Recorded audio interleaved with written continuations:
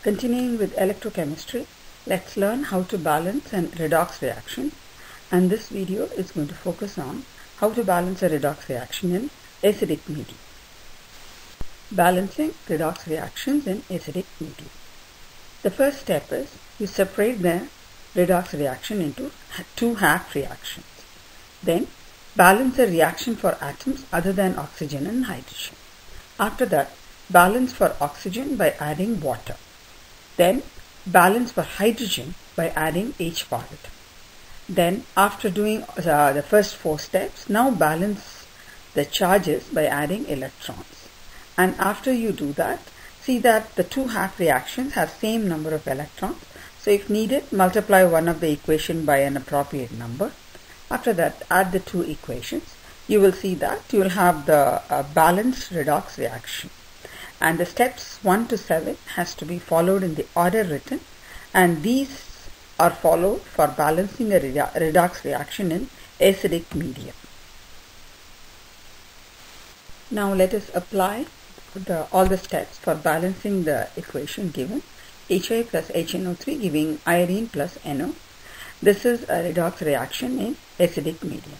So the first step is to separate them into half reaction. So I can see that HI is getting converted into iodine and this process is oxidation. How do I know it is oxidation?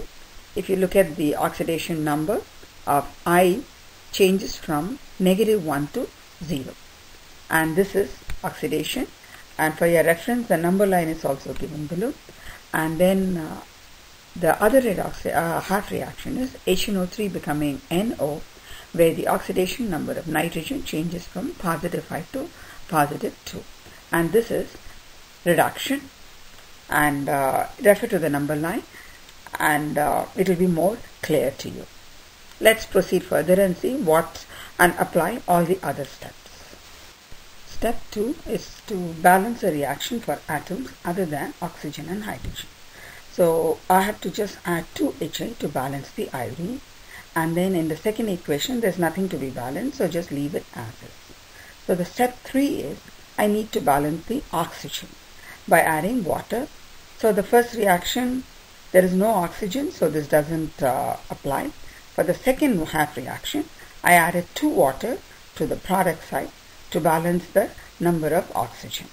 Then the step 4 is to balance the hydrogen by adding hydrogen ions so the first half reaction I add 2H positive and then uh, for the second half reaction I add 3H positive. So the step 2, 3 and 4 balances other ele uh, elements other than oxygen and hydrogen, balances oxygen and balances hydrogen. Remember oxygen is balanced by adding water, hydrogen is balanced by adding H positive. Let's proceed on to step 5 in which we balance the charge. So we need to add electrons. In the first half reaction, I've added two electrons to balance the two H positive, and in the second half reactions, I added three electrons to balance the three H positive. So after this, the step six, I need to, I see that there are two electrons in uh, equation one and two, three in the uh, second half reactions. Therefore, multiply the first half reaction by three and the second half reaction by 2 and that results in the new equation 6HI giving you 3I2 plus 6H positive plus 6 electrons. And the second half reaction after multiplying by 2 given as written. And uh, you see that the number of electrons becomes 6 in both the cases.